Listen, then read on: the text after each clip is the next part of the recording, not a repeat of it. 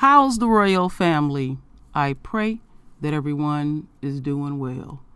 Well, my royal family, I said I'll take another direction and present something um, that some may know and some may not. And I knew a little bit about what I'm going to present, but when I um, dug in it, into it much deeper and did, like I usually do, research, it was it was quite touching what I'm going to present to the royal family, and then it, it's sad too, in the end too as well. So y'all see the title I have there, and I just love that they called this place Black Eden. So let me read a little bit here for y'all. Today, glory days of Idlewild feel a bit like fever dream. Just ask any of the African American vacationers who made the pilgrimage to the Michigan resort, resort from the 1910s um, to the 60s. It was something that you would never believe, stranger than fiction, ref, um, reflects one, one woman in um, Coy Davis Jr.'s um, documentary, Whatever Happened to Idlewild. In the midst of Jim Crow segregation, Idlewild became so much more than just a summer retreat for the affluent black community. It was a Garden of Eden. And I'll share these various pictures um, later. I'm going to take the royal family on a journey. So let's start here. Idlewild, past and present.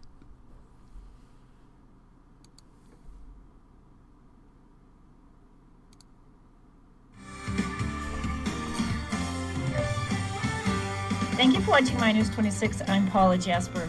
Today we're in Idlewild, and joining me is John Meeks, a long-term resident. Thanks for joining me, John. Yes, I'm John Meeks, and I've uh, been in Idlewild, uh, been connected with Idlewild since uh, 1954, and uh, that was my first uh, experience of, uh, of visiting historical Idlewild, and those were the days when Idlewild was at, at its peak in being a famous entertainment center of, of the Midwest. Uh, they had uh, three nightclubs here at one time, had had live entertainment, uh, and there were thousands and thousands of people would converge on here every weekend. The place would just be live with people. Uh, the, my first experience on the beach was there were people there on the beach wall to wall it wasn't hardly even walking space there. And at that time, they had uh, eight uh, uh, policemen, and their duties was to do nothing but handle traffic, make sure that no one blocked the movement of traffic.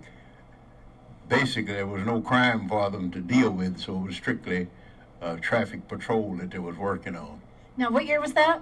Uh, this was in 1954.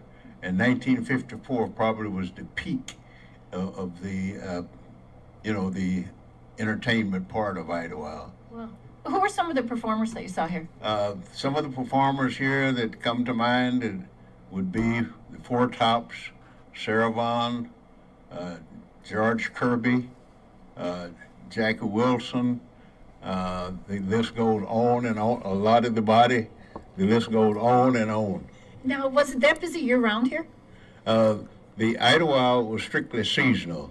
Uh, it opened up uh, May uh, May 30th and, and it closed down uh, at Labor Day. And at the end of the season, they had uh, the nightclubs would have what they call bearing the show. That was the last show for the season, and there'd always be sellout crowds for the for the final show of the season. Now, people came from all over to come here then. People came from all over the country to here to, to Idlewild. A uh, matter of fact, uh, we have residents here for basically from almost every state in the union, from from the west coast all the way to the east coast. Now, were there grocery stores, post office? Oh, there, there uh, Idlewild was very uh, commercialized, and we had uh, that time probably thirty some motels, uh, probably about ten or fifteen restaurants, three nightclubs Uh, it was a, in the service stations, grocery stores. We had all of the services that you know the tourists would uh, need. The services was provided for them. Okay, now Baldwin is so close by. Was Baldwin a lot smaller then? Baldwin uh, is just about uh, five minutes from here, and Baldwin was always been closely connected with Idlewild. It's almost a, a spillover into Baldwin. Now, when did Idlewild really begin? Idlewild began in uh, 1912, and uh, the growth period of uh, Idlewild was uh, in the 20s. Is when it uh, made the most progress. That's when uh, the individuals moved from living in tents to to small places called dog houses. Was just big enough for sleeping, and then in the mid 20s they started building uh, year-round homes here then, and since that time it's been uh, accumulation of uh, of uh, nice homes, especially around the lake. Now, why did it begin here? You said Louis Armstrong. Yeah, well, uh, back uh, in, in the peak of the the entertainment part of Idlewild, um, uh, it goes all the way back uh, far as 1927. There, there were pictures here of Louis Armstrong fishing out here on uh, on Idlewild Lake, and uh, his wife Lil Armstrong was living here when she passed. What was it like to come here during its heyday? coming to Idlewild uh, was uh, basically for entertainment. Uh, it was a good time. Idlewild was basically a party place. It was a place people come to just have fun, party. Uh, partying on, on Idlewild on weekends was was uh, 24 hours a day, all day and all night parties. You'd go you'd go to bed, get some rest, and get up and start back partying again and it was and it was all about just having fun and meeting people. You met people here from all over the world. This is fascinating. Thanks for joining me, John. Thank you, and you're welcome. Wow. Paula Jasper, My News 26 in Idlewild. Okay, my royal family, we just gonna keep rolling with it.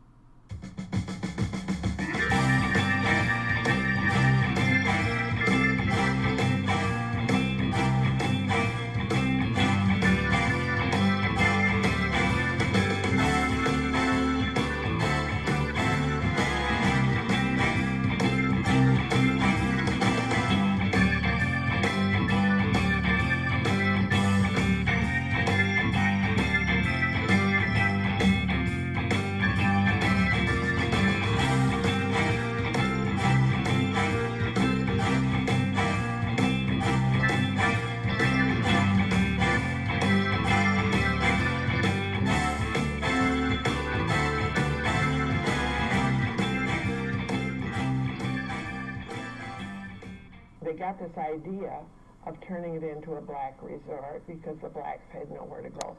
The Branches were very religious people, very religious. You probably know that. Uh, and so they went to Baldwin and said, we have this idea. What would you think of inviting the blacks to have a resort here? And they okayed it. My family first came to Ottawa in 1932. At that time, my father was uh, the first black state senator in Michigan. And uh, we came up here as soon as school was out. We'd come up here in the summertime. And uh, we would stay three months and then go back to school in Detroit. Well, it was publicized in the Chicago Defender uh, by Lela Wilson, one of the founders of Idlewild that if you would come to Idlewild, she would give you a lot. And uh, a lot of people migrated, mostly, they migrated from Chicago more than any other. And uh, when they got up here, they found out it wasn't farmland, it was mostly sand.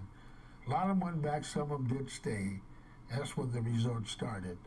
And that's when uh, Mr. Branch and his brothers came in and started plotting out lots. And lots were sold too by him. Learned it from interviewing people, that Woodland Park was first founded by a man named Marion Arthur and his wife Ella.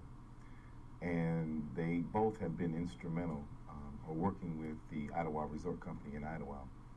And they had been, he in fact had been a salesman for them, had been one of their chief salesmen, as, as I understood. And that um, as the property in Idlewild was becoming scarce, that Mr. Arthur went looking for property that he could emulate Idlewild, and that's when he founded Woodland Park. There was a lady by the name of um, Dorsey that um, I don't know if my folks knew this lady personally or my mother just happened to meet her somewhere, but she was telling her, my mother, that uh, they about the summer resort in Woodland Park they catered more or less to black people. And at that time, it was rather unusual cause, because there weren't too many places for black people to go. And um, when my mother told my dad about it, he was so excited that there were there was some place really that they could go and and um, relax and vacation like you know other people did. So uh, they made plans to come to Woodland Park. They had little booklets like this with pictures of the hotel and all that they used for publicity, and postcards that they used to send out giving the rates at the hotel. One thing that um, I have learned is that um, Ella Arthur was a master at marketing. Um, that anytime, and you see any of the pictures that we have, most of these pictures were actually um, postcards. And what she would do is anytime somebody caught a big fish, anytime somebody built a house, anytime somebody did something monumental, Mrs. Arthur would take a picture of it and have, and have it made into a postcard.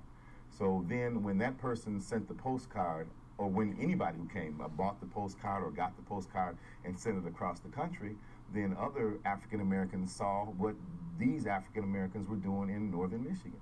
And that's what created the whole fervor. Uh, you look at some of the other the things. I mean, even today, when I look at, at some of these things that uh, these advertisements that um, that we have gotten, most of them are prior to 1940. Um, it makes you proud to think that uh, you know the way that they they knew how to market, and it again, like I mentioned before, they used catchy phrases. They knew how to how to touch the the hearts or the the feelings that were generated through through the uh, Negro communities then you know, own your own land, be your own landlord, own something that nobody can take away from you. Those are the, that they uh, they captured the, the the the feeling that was happening um, in in our communities then.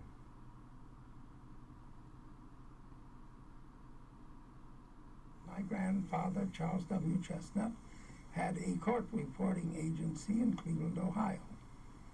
And since the courts were not in operation in the summer, he was free to travel and come up here. My grandmother liked it up here very much, and uh, that, I think, was an incentive for him to build. This was basic an area at that particular time wasn't attractive to whites. There were other areas in the um, uh, further north, uh, 70 or 80 miles in the uh, in the Traverse City area that uh, where that you had uh, uh, places that individuals, um, industrialists, and and uh, people who was coming in from Chicago and various places, they were they were building and settling there. No matter where you lived in the park, that's what we call Woodland Park, the park. No matter where you lived in the park, if you were a teenager, you headed for the porch on the Royal Breeze Hotel. And and all the youngsters, I could remember my children saying the same thing to me. It, a flashlight was was necessary, because all the kids traversed the roads at night, walking with their lights, and you could be looking, and you would see just lights bobbing up and down the road, and it would be a bunch of kids going home at night from from having been to the hotel across the lake was the center of Idlewild, and it was built up. Now it's not. Uh, on that island, there was the clubhouse, which was a large structure at this end, at the east end, and um, they served meals there, and they would have music and dancing and uh, public meetings and things. It was a gathering place. But also on the island, there was a store which, inclo- which also included a, a gas station. There was one pump, and they had groceries and ice, and the post office, the summer post office, was also included in there. It was run by a family named Elsner. And uh, there was also, in the middle of the island, a barber shop for the summer run by a man named Day, D-A-Y. And then at the other end of the island, at the west end of the island, there was a three-story hotel. I don't know how many rooms it had in it, but they were single rooms for visitors. And uh, then on the back side of the island, there were individual small uh, cabins, which people, tourists, visitors could also rent um, if they didn't want to stay in the hotel. And then also at the west end of the island was a what a nightclub called the Purple Palace, and uh, all of these things were in full swing during the summer, say, and people would gather there. The weekends, the nightclub would do best on the weekend, and uh, you know people would row across the lake. In the 20s, there were not a great many cars. People walked. And you would walk around on the road with your flashlight and to do or attend something on the island, and then you would walk back. Somewhere around probably the late 20s or early 30s, uh, Maddie Keller and uh, Ella Towns came to Woodland Park. And um, as I'm enamored with Marion Arthur and his wife Ella, I'm also enamored with them they were two sisters, and um, who, as I have been told, came from um, all the way from uh, uh, the south in a taxi. And um, but the minute that they came here to Woodland Park, and the rumor has it that they brought a suitcase full of money, and they probably did because it seems like from the day, well, you know, when you look back from here, looking back, things seem to happen so fast.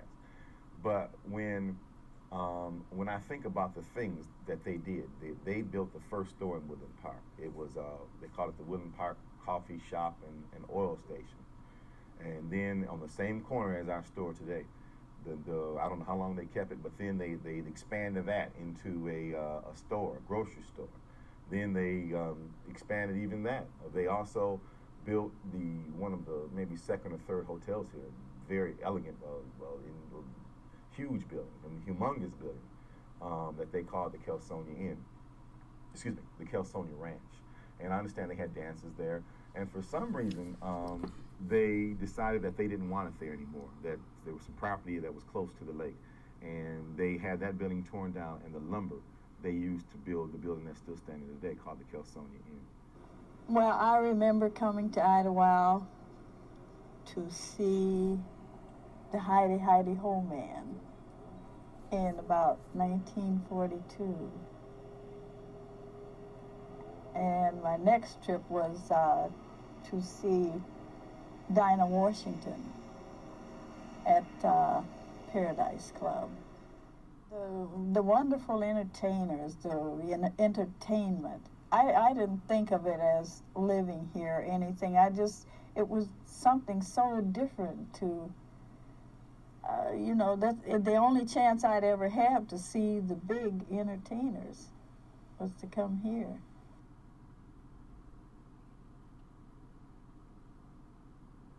I think they had choices. I don't know if you'd say it's outgrowing a place. You just have so many other choices.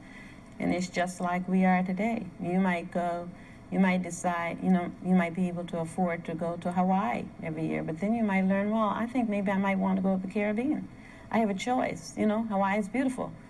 But I think I'll choose to go to the Caribbean this year. You know, I think it's it's very much the same. People made money at that time, yeah, but we weren't foresighted.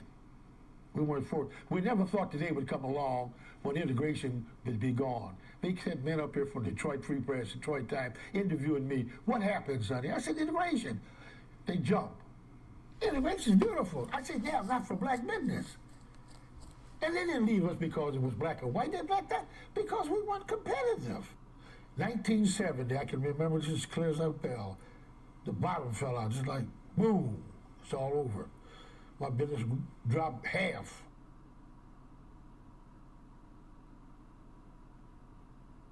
It shows one of the things that we had to struggle so hard for, just like struggling to get to sit on the bus in the right place.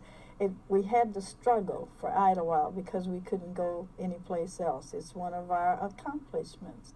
So it, it's a place where you feel comfortable, where you, the neighbors that you've gotten to know are like members of your own family, and that people would say at the end of a summer, God willing, we'll see you again next year. You're tired of the city's toil and strife. Pack your grip, take children and wife. Hop a train that's bound for the royal breeze, just a place to rest, the crowd agrees. Here you meet your friends far and near. Joy and laughter brighten day's most drear. Not a chance to mope over moments sad. Come to come to Woodland Park and be made glad. Glad that life is coursing your veins. Glad you found a place where God reigns. Glad that there's hope and faith among your race. Glad to meet your brother face to face. All right, my royal family. Shut this down. And um, I forgot to tell y'all, I do have a bonus um, video where we're going to listen to an audio.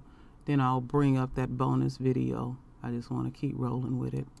Now, I found something on NPR about um, Black Eden, the town that um, segregation built. And this was done July 5th, 2012.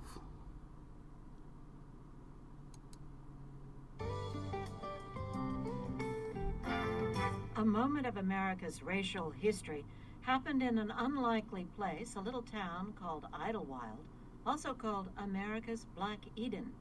While activists fought for civil rights in cities like Montgomery and Little Rock, the resort in west central Michigan was one of the few where African Americans could vacation and purchase property, and it was hugely popular. This summer, Idlewild is celebrating its centennial and its place in American history. From member station WCMU, Amy Robinson reports. Idlewild, Michigan is about 30 miles east of the larger resort city of Ludington, tucked away in the woods of the Huron Manistee National Forest. People like Needy Windham remember this town as the go to spot in the 50s and 60s for summer vacations. And um, everybody said, You're going up north? Yep, we're going up north. We're going to Idlewild. What Windham didn't know when she came here as a child was that this resort was unlike any other in the United States. It was, in essence, the town that segregation built. Idlewild is invisible to most Americans, in fact, to most Michiganders. But in the 50s and 60s, it's just what working class African Americans were looking for a reasonable driving distance from places like Chicago, St. Louis, of course, Detroit, and yet, well, invisible, so African Americans could retreat from the ugliness of discrimination and Jim Crow. This is where black people could come and not have to worry about not being served or not being allowed to use the hotel or the motel or the facilities. Maxine Martin is a longtime Idlewilder. Her great grandchildren are sixth generation here. We met up at the opening ceremonies for Idlewild's centennial. Martin remembers coming here in the town's heyday. That's when as many as 25,000 people swamped the town in the summer. The little resort attracted big names B.B. King, Della Reese, Louis Armstrong, and Aretha. Oh,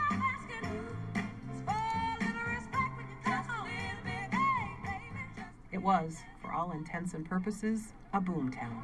There were nightclubs, after hours joints, hotels, motels, beauty shops, barber shops, restaurants, all over the place. Times change. Now, instead of hearing Aretha live, a DJ plays the Cupid Shuffle at Idlewild's centennial kickoff.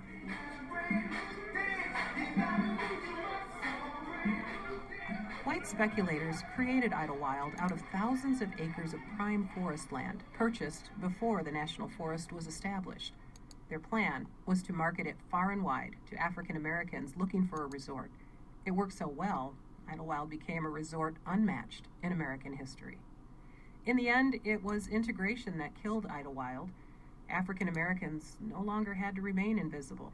Today, the community has a meager population of only 700 and a story to tell.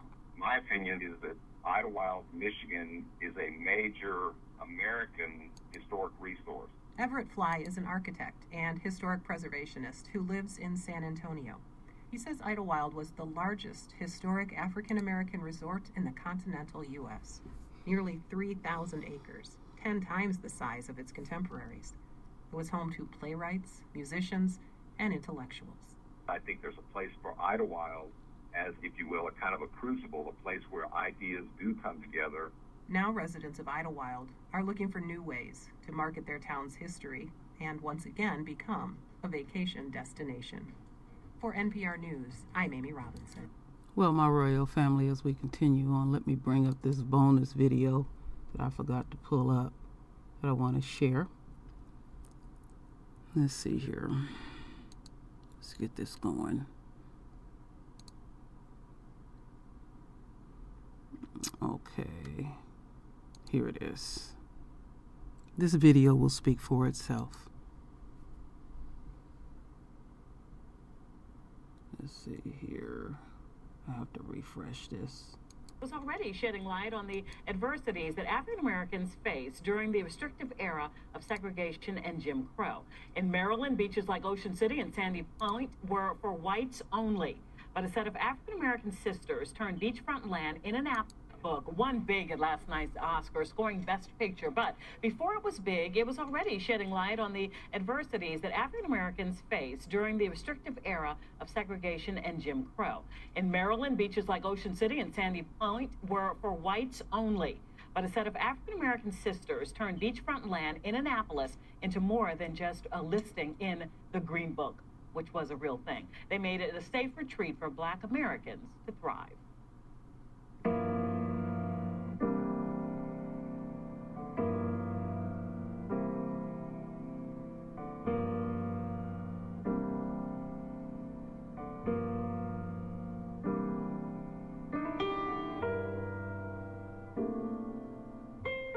Was growing up, Ocean City was segregated.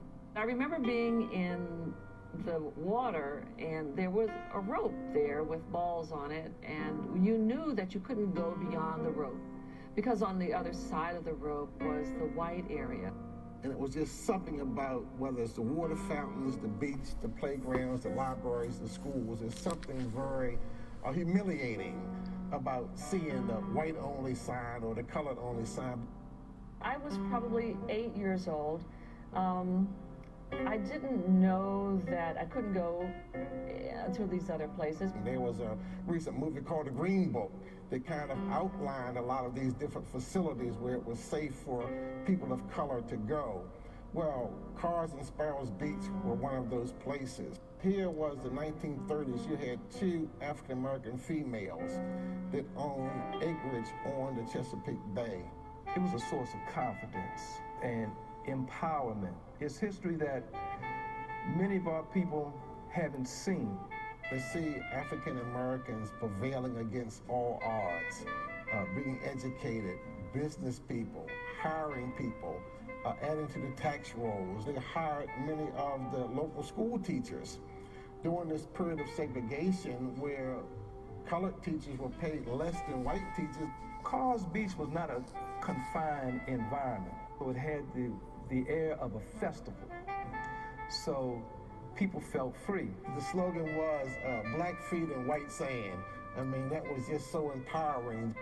And no one could tell you to sit down or stand up. You could just come out and enjoy the Chesapeake Bay, enjoy the music, enjoy the food, enjoy the fellowship.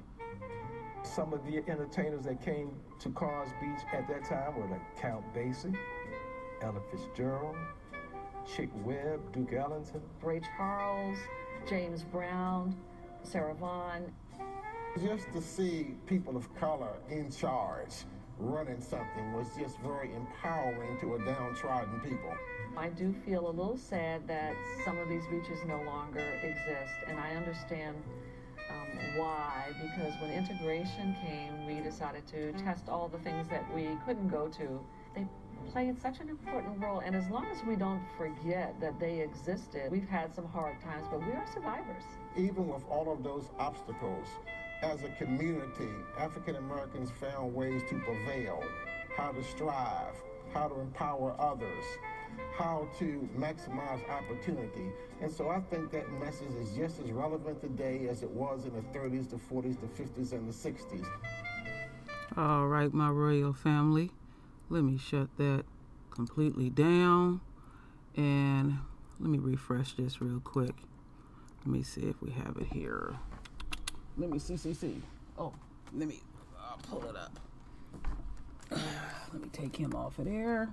Let's go back over to these pictures. Now, the video that I just showed um, the royal family, that was done February 25th, 2019, and they were talking about remembering Chesapeake Bay exclusively African American beaches. And there were um, some sisters by the name of Carr, C A R R, and um, their father had purchased more than a hundred acres. So these two sisters, um, one of the beaches was called um, Carr's and Sparrow Beaches, uh, and they were listed in the um, in the Green Book, which is outlined from different places where it was safe for African Americans to go to. And um, that was the bonus that I wanted to to add that th- there was two beaches that were owned by black women, um, and everything, and we can see the the result of integration, um, how it affected us economically, because that's the thing that kept resounding in my psyche when I'm watching these videos and doing the research. Where we we have been as I speak and still remain segregated. I have no problem with segregation. I'm not interested in integrating even now. I try to segregate myself as much as possible. I know it's not easy, but I'm not interested in um, being around the enemy. Um, even when I seeked to come on YouTube, it was not, it was hard to find my family, even on YouTube. They bury us. They bury us. And um, I just thought I'll do this um, video. Um, go over to uh, Phil's channel. He goes deeper into, and if I can remember, I'll put the link. He goes deeper into these um, these beaches that were owned by these powerful sisters. And I said, well, I would focus more on Black Eden Idlewild. Remember that movie, Idlewild? That was a pretty good um, movie, but um, I just wanted to take it to a different direction. So, my royal family, render your voice with your beautiful divine words. And as always, my royal family, I thank you for your love. I thank you for your support. And with that said, Ashe.